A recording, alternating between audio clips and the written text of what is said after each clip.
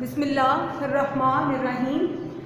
आज हम नौवीं जमात की उर्दू की किताब से सबक नंबर नौ उन्वान है नसू और सलीम की गुफ्तगु पढ़ेंगे। मुसन्निफ का नाम है डिप्टी नज़ीर अहमद। सबक को पढ़ने से पहले हम अल्फाज मायने देखेंगे, ताकि सबक को समझने में हमें आसानी हो।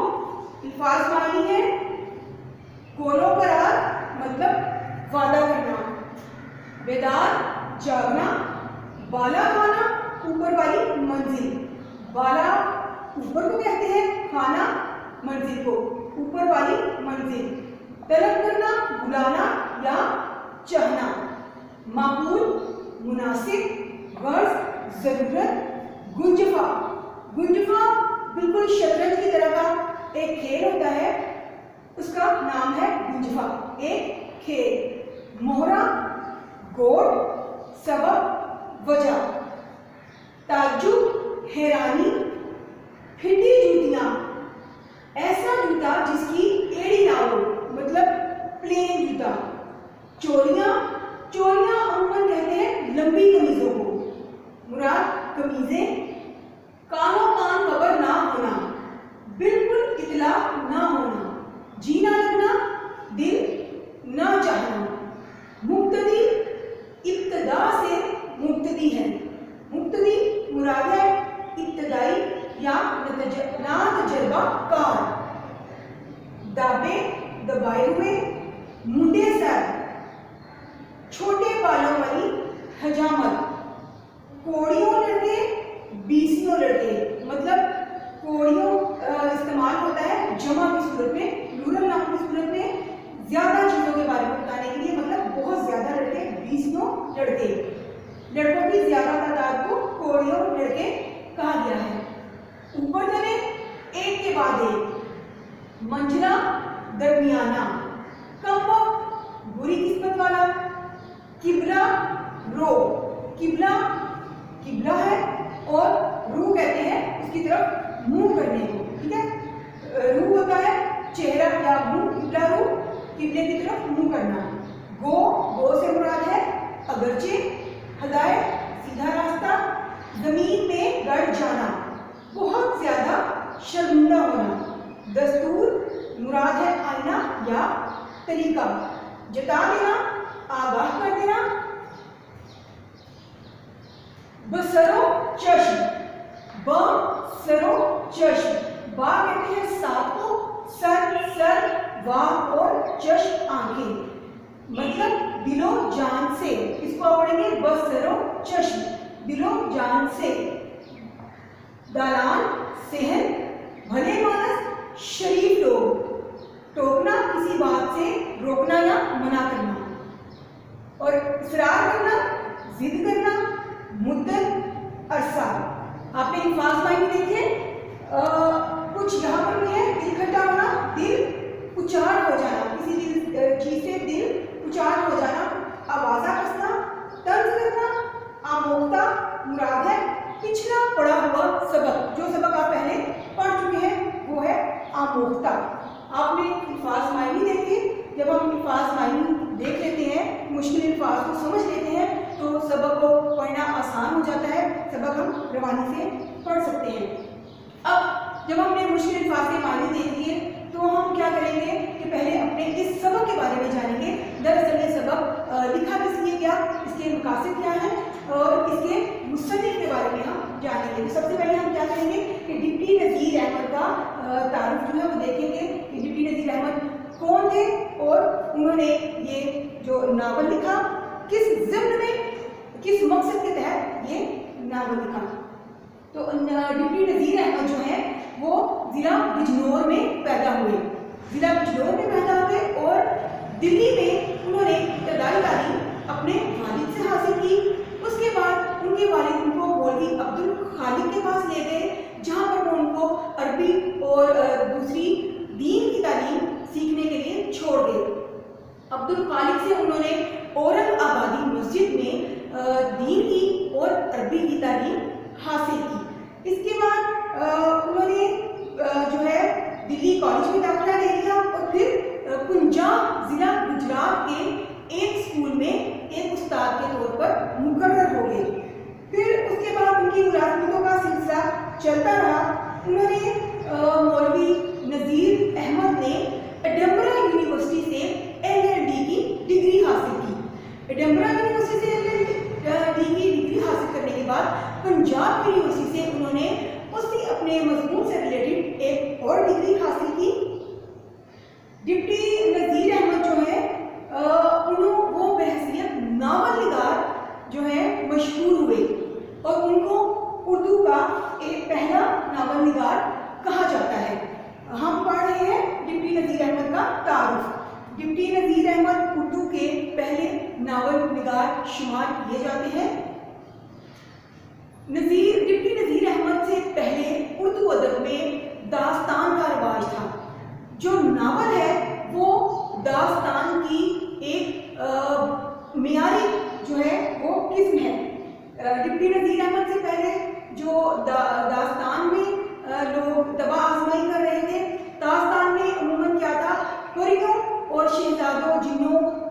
के बारे में ज़िक्र मिलता था, शहजादे और शहजादियों के बारे में सबक मिलता था। लेकिन डिप्टी नज़ीर अहमद ने उस तर्ज को छोड़कर नावल की तर्ज को लिया। और ये नावल जो है, ये असल में मगरबी अदब से आया। नावल मगरबी अदब से उर्दू अदब में आया।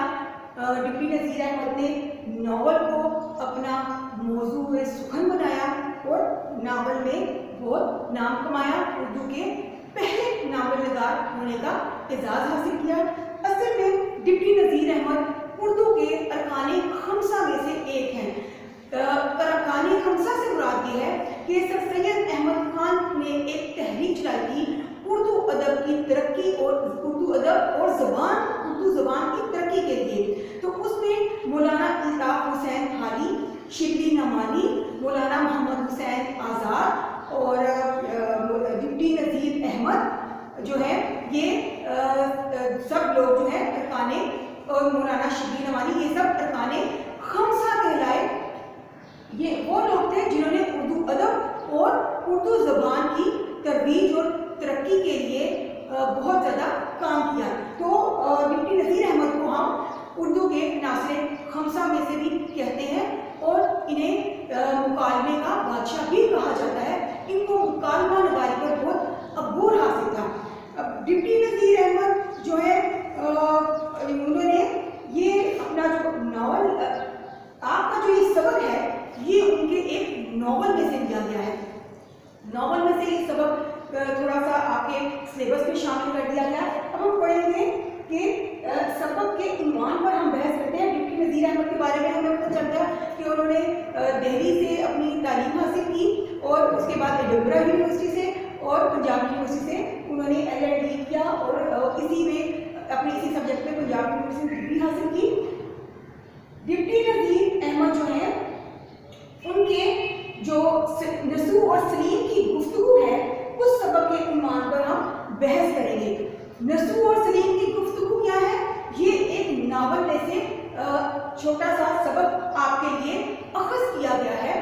दर हकीकत ये नसू एक नावल है, डिप्टी नज़ीर अहमद का। उसमें से ये सबक लिया गया है। तोबा तब नसू नावल जो है, वो डिप्टी नज़ीर अहमद ने लिखा। डिप्टी नज़ीर अहमद ने जितने भी नावल लिखे, वो सारे इस्लाही मकसद के तहत लिखे क्योंकि उनसे पहले डिप्टी नज़ीर अहमद से पहले अमूमन दास्तान लिखी जाती है जिसमें परियों शहजादे शहजादियों का ज़िक्र किया जाता अगर जो उनके ज़रिए भी इखलाकी बुराइयाँ और जो अच्छाइयाँ हैं उनको दिखाया जाता लेकिन चूँकि वो मावराई किरदार थे तो डिप्टी नज़ीर अहमद ने क्या किया कि नावल की सिर्फ़ को इख्तियार किया उन्होंने जब मगरबी अदब का मुताल किया तो उन्होंने देखा कि नावल एक ऐसी सेंस है जिसमें हम अपने फर्जी किरदारों को हकीकी ज़िंदगी के साथ जोड़कर माशरे की इसलाह कर सकते हैं तो उन्होंने क्या किया कि नावल को परियों शहजादों और जादूगरों की सहर अंगेजियों से निकाल कर हमारी आम ज़िंदगी में हमारे घर की चार दीवारी में ला खड़ा किया मतलब ये कि हमारी ज़िंदगी के किरदार, हमारे आम माशरे के जो रवैये हैं और उनका रहन सहन उनकी तहजीब, माशरत जो है, उसकी इसलाह के लिए वो जो है, उन्होंने ये लिखे। वो हमारे घर की चार दीवारी में उनके किरदार सिमट गए। उन्होंने घर के माहौल में का लिखा, खासतौर पर उन्होंने तालीम नस्लों के बारे में लिखा। उन्होंने शहजादे शहजादियों परियों जिनों बुतरों जादूगरों की सहकारियों से निकलकर आम इंसानी हकीकी ज़िंदगी को मौजूद सुकन बनाया। तो क्या किया? डिप्टी नज़ीर अहमद ने आ, सबसे पहले तो तालीम नस्मा पर ज़ोर दिया। उसके बाद ये जो आपका नसू और सलीम की गुफ्तु है नसू और सलीम की गुफ्तु जो कि डिप्टी नज़ीर अहमद का तोबा नसू से लिया गया है इसमें औलाद की तरबियत को मौजूद बहस बनाया गया है आप जब ये नावल का ये हिस्सा पढ़ेंगे तो आपको पता चलेगा कि दरअसल इसमें जो नसू है वो अपनी औलाद की तरबियत के लिए परेशान है ये सारा जो है सबक आपका इसी बारे में है। अब जो आपका ये तोबातुल नावल है, जिसमें से ये सबक लिया गया है, ये डिप्टी नज़ीर अहमद ने डेनियल डेफो एक मगरबी नावल निगार था। डेनियल डेफो, मगरबी नावल निगार था। उसका एक नावल था, द फैमिली इंस्ट्रक्टर, जिसमें कि औलाद की तरबियत और उसकी इसलाह के बारे में मुतासर होकर उन्होंने ये तोबातुल नसू नावल लिखा, जिस, जिसका के नसू और सलीम की गुफ्तगू एक छोटा सा, उसमें से एक बाब लेके आपके इस सबक में शामिल कर दिया गया है। तोबातुल नसू जो है, ये तकरीबन बारह बाब पर मुश्तमिल है। इसके बारह हिस्से हैं, उनमें से ये एक हिस्सा आपके सबक में शामिल किया गया है। हम इस सबक को पढ़ने से पहले ये देखेंगे कि डिप्टी नज़ीर अहमद ने इसमें, इसको बहुत आसान ज़ुबान में इसको बयान किया है कि हमें पढ़ने में कोई मुश्किल नहीं होगी। और उसके बाद जब मैंने आपको अल्फाज मायने भी बता दिए तो आपको जब मैं ये जो है नावल का ये एक बात पढ़ूँगी तो आपको कोई मुश्किल नहीं होगी। आप अपनी किताब को सामने रखें और मैं इसको पढ़ना शुरू करती हूँ। ये आपका ये सबक नसू और सलीम की जो गुफ्तु है, ये वाला जो है नावल का, ये शुरू होता है एक ख्वाब से। इसमें क्या है कि जो नसू है, वो एक ख्वाब देख रहा होता है।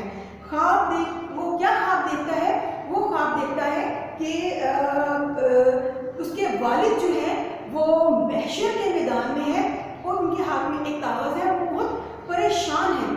वो परेशान है तो नसू पूछते हैं कि आप क्यों परेशान हैं? तो वो कहते हैं कि जो सब लोग हैं, उनकी औलादें उनके लिए पढ़ के उनको बख्श रही हैं, उनके लिए बासे निजात है तो वो इसलिए परेशान है कि वो अपनी औलाद की इसलाह ना कर सके। तो उन्होंने वो नसू और वो महशर के मैदान में परेशान खड़े हैं। तो जब नसू ये बहुत खौफनाक सा मंजर देखते हैं महशर के मैदान का तो वो उठते हैं और वो फ़ौरन ये सोचते हैं कि वो अपनी औलाद की तरबियत करेंगे, ताकि उन्हें इन हालात का सामना ना करना पड़े। और वो उठते ही वो अपनी बीवी को सुनाते हैं और इरादा करते हैं कि वो अपने घर से, अपनी औलाद से आज ये उनकी तरबियत का जो है काम शुरू करेंगे। इस नावल में असल में आपका जो नसूब और सलीम की गुफ्तु है जो तोबातुल नसूब से लिया गया है इसमें दरअसल ये बताने की कोशिश की गई है कि सिर्फ़ पढ़ा औलाद को पढ़ा देना ही काफ़ी नहीं है, बल्कि उसकी इखलाकी तरबियत करना भी बहुत ज़रूरी है। जब तक आप उसकी इखलाकी तरबियत नहीं करेंगे, उसकी तालीम को फ़ायदा नहीं देगी। इसी मौजू को नसू और सीम की गुफ्तु में जेर बहस लाया गया है अब ये क्या है कि इसमें वो घर की इसलाह शुरू करते हैं मौलवी नज़ीर अहमद तो सबसे पहले वो क्या करते हैं अपनी बीवी को ख्वाब सुनाते हैं उसके बाद वो अपने बच्चों को पास बुलाते हैं इस सलीम की नसू और सलीम की गुफ्तु में हमारे पास जो करेक्टर हैं किरदार हैं वो कौन से हैं एक नसू का किरदार है फिर उनकी जो बीवी है फहमीदा उनका किरदार है इसके अलावा उनके छोटे बेटे जो हैं सलीम उनका किरदार है और आपके पास यहाँ पर आपको ये तीन किरदार मिलते हैं लेकिन जो मेजर किरदार है इसके अलावा हम जब पढ़ेंगे तो आपको कमी और दूसरे किरदार कौन से हैं लेकिन और अगर तोबा तुम नसूर को आप पढ़ें तो उसमें नसूर के जो है वो तीन बेटे हैं कलीम है, जो सबसे बड़ा है, जो बहुत बिगड़ा हुआ है, जिसको दीन की कोई समझ नहीं है, वो हर वक्त शतरंज और गुंजफा खेलता रहता है और अपने आवारा दोस्तों के साथ, अपने घर में या तो सोया रहता है या उनके साथ खेलता रहता है, बाप की माँ बाप की किसी बात को खाते में नहीं लाता उसके बाद उसका मंझला बेटा जो है, वो जो है, बड़ा बेटा जो है कलीम है और छोटा बेटा जो है, उसका एक मंझला बेटा है उसके बाद बड़ा बेटा अलीम है मंझला बेटा कलीम है और जो कलीम है वो छठी जमात का तालब इलम है जबकि सलीम छोटा बेटा है उनका सबसे सलीम जो है वो कलीम और अलीम की नस्बत थोड़ा बेहतर है और आ, वो आ, इस आपके इस सबक में सलीम नसू सलीम से ही होने जा रही है। वो उसका थोड़ा समझदार बेटा है। इसके अलावा उसकी दो बेटियाँ हैं एक है नईमा, ठीक है, एक उसकी बड़ी बेटी है इस तोबा में, जो कि अपने घर वालों से लड़कर आ गई है। उसने बर्दाश्त बिल्कुल नहीं है। दिखाया ये गया है? और एक उसकी छोटी बेटी है।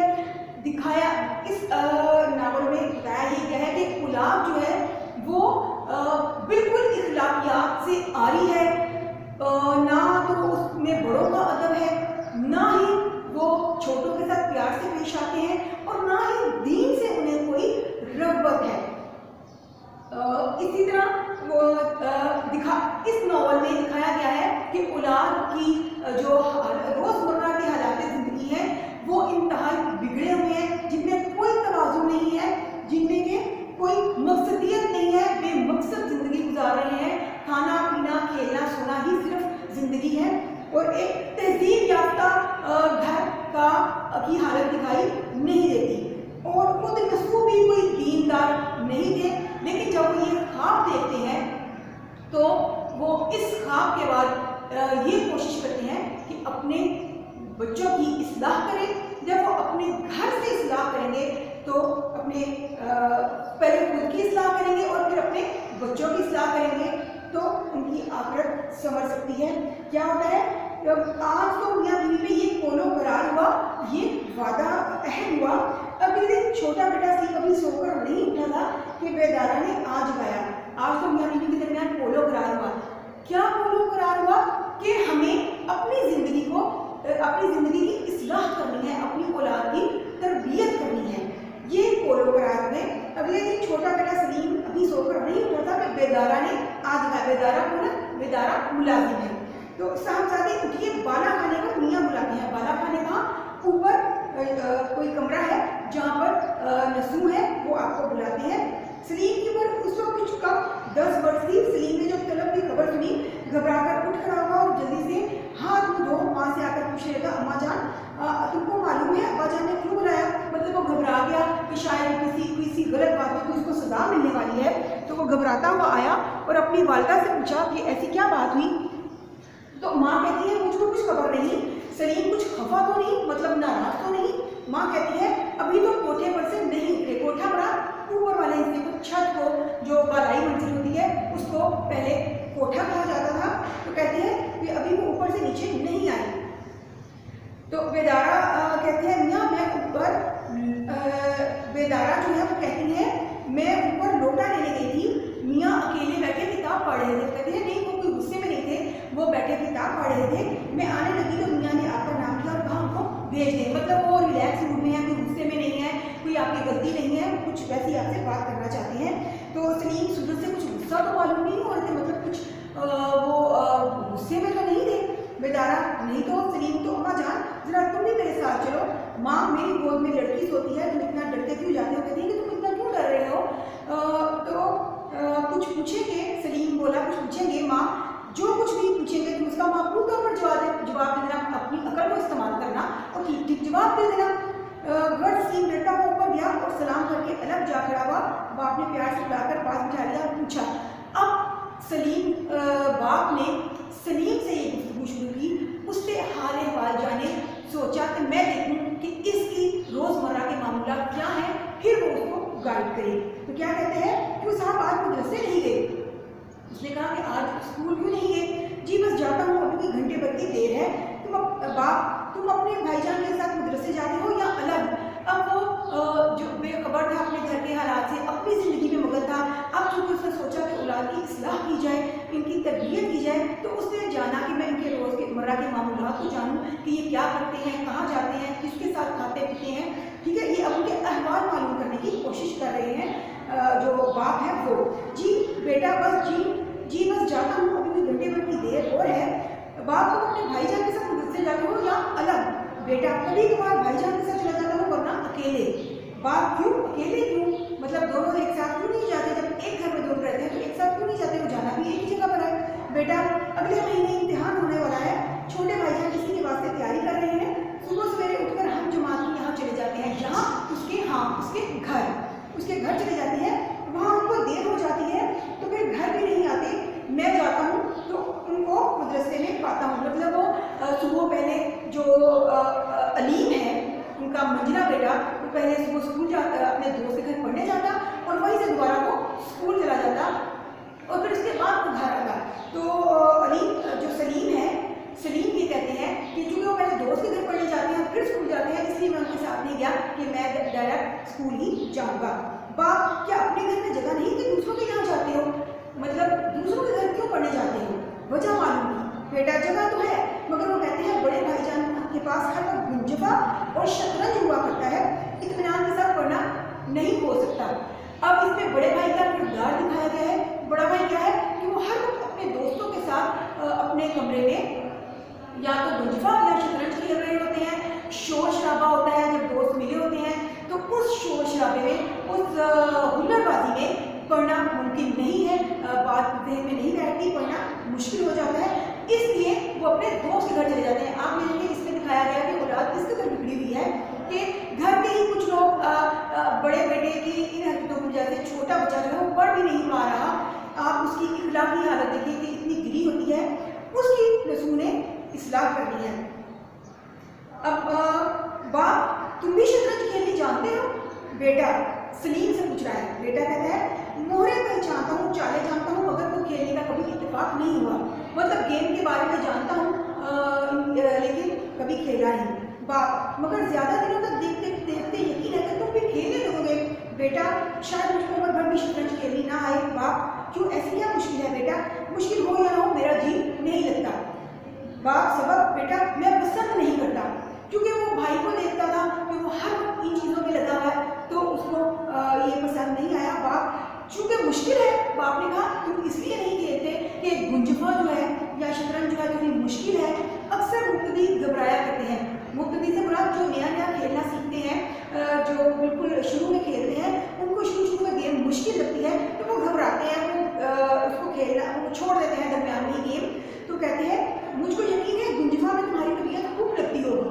उनका वो बेटा बड़ा समझदार था और गुंजफा चूँकि अक्ल वाली गेम जिसमें अक्ल लड़ा के खेला जाता था तो कहते हैं कि मुझे लगता है उस पर तुम्हारी तबीयत खूब लगती होगी कि तुम्हें बहुत पसंद आती होगी, तुम शौक से खेलते होगे।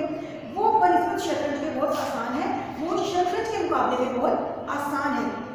बेटा हाँ शतरंज की नस्बत कर नस्बत कर मतलब शतरंज की नस्बत। उस वक्त नस्बत कर लिखा जाता था मगर इसका नस्बत ही है। गुंजवा को ज़्यादा पसंद करता हूँ। हाँ शतरंज में तबीयत पर ज़ोर पड़ता है और गुंजवा में हाफसे पर ज़ोर पड़ता है। जो शतरंज है उसके मोहरे और चालों को बहुत सोच समझ के खेलना पड़ता है और उसमें आप पूरी आपकी शख्सियत इन्वॉल्व होती है बहुत पूरी तवज्जो के साथ आपने आ, करना होता है आप तो क्या कहते हैं वो चूँकि उसमें बादशाह वज़ीर और प्यादे होते हैं तो आप पूरे अपनी जो है आपकी पूरी शख्सियत उस गेम में इन्वॉल्व होती है तो कहते हैं गुंजवा में सिर्फ़ हाफे का हमने इस्तेमाल करना होता है बेटा मेरी नाम समतेजी का कुछ खास कर यही सबब नहीं वो कहते हैं कि मेरा सिर्फ़ बेटा कहता है कि मैं सिर्फ़ इसलिए नापसंद नहीं करता कि वो तबीयत गुंजफा जो है वो हादसे पर असर करता है बड़ा उसको जहन लड़ाना पड़ा है पड़ता है। कहते हैं बल्कि मुझको सारे खेल ही पूरे मालूम होते हैं। अब आप बड़ा हैरान हुआ कि एक बच्चा बच्चे तो खेल खेलना पसंद करते हैं ना तो ये बच्चा थोड़ा हटके क्यों है? क्यों इसको सारे खेल ही बुरे मालूम हो रहे हैं? सारे खेल ही इस, इसका दिल उचाट हो गया है सारे खेलों से। बाप हैरान होता है। बाप तुम्हारी इस बात से मुझको ताजुब हुआ मुझे। हैरानी हुई।